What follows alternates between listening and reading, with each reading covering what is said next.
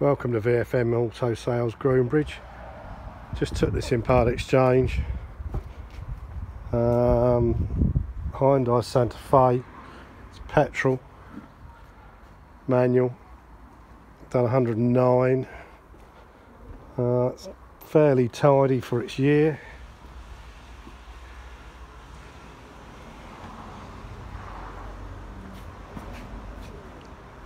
That moulding is in the boot. I did just try to put it back on, but it fell off.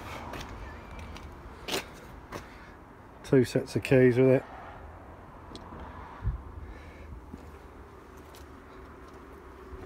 Currently on the MOT extension. It has MOT until October.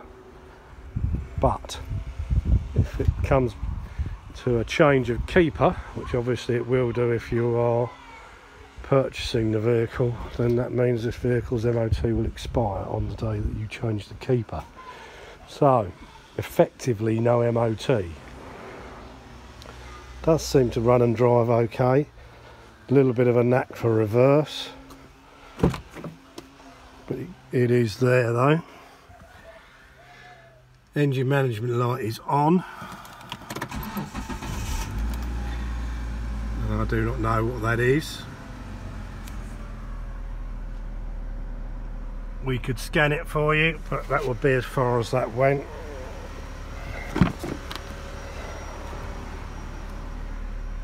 Be a good tow car. Or if you're uh, got a bit of land or something like that something to get about.